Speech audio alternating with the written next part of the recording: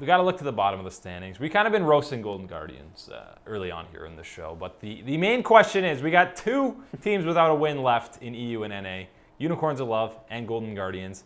Who is going to get that elusive first W first? First W first. If we were just going off the skill of the roster and how they're playing, it's like Golden Guardians. That's got to be Golden Guardians. You know, they have looked weak, but they haven't looked nearly as weak as the Unicorns of Love have, lo- have looked in their own region. But when you look at the schedule for these teams, Oh my it gosh. is just a nightmare for the Golden Guardians. I don't know where they're ever going to pick up a win in these ones. You know, best of ones, yes, you can do anything to get a win, but my God, these are some tough matches. The next four for the Guardians TSM, Team Liquid this week. And then you've got Echo Fox, 100 Thieves. That's brutal, man.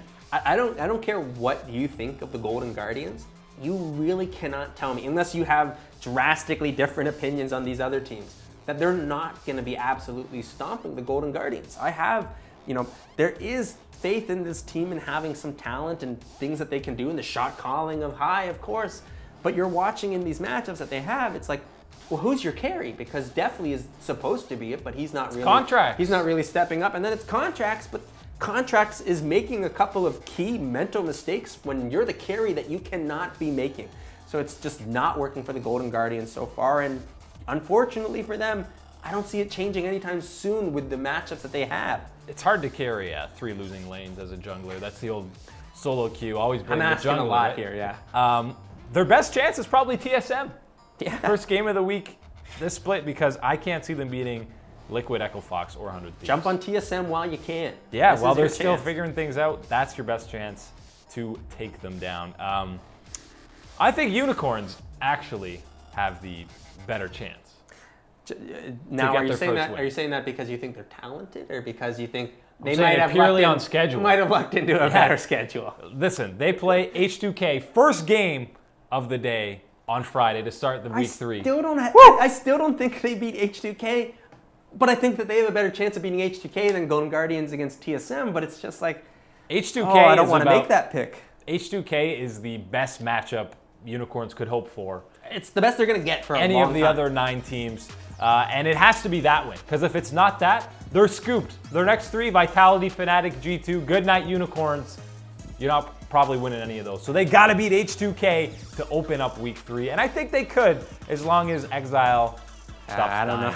I don't know if you're gonna see that though, man. Don't play Vladimir. Can't get a kill on that champion. I cut this pack to get this, these vids here of the unicorns that love playing, and every time I was cutting them, I'm slapping my forehead, just going, "What are you doing, man? You can't put yourself there."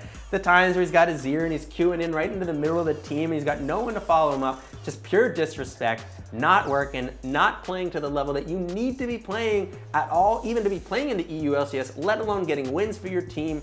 The unicorns of love need Exileh to step it up big time.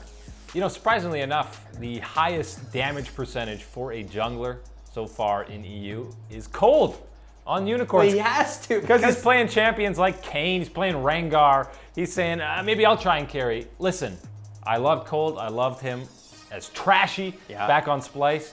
If he's the main carry of your team, You're in trouble. You're, You're in serious in trouble. big It should be trouble. Samux. I mean, he was he put up MVP caliber numbers. He's only picking up those damage numbers because he's having to camp mid lane while Exileh's in the gray screen simulator zone, man.